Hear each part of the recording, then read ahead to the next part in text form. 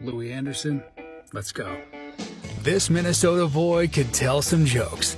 And in 84, he got his start on Rodney Dangerfield's Young Comedian special on HBO.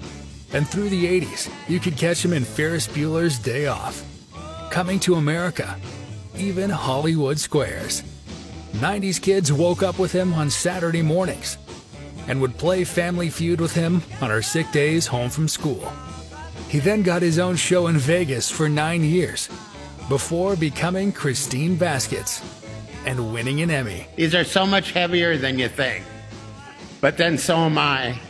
Louie, thanks for the laughs. And here's to you.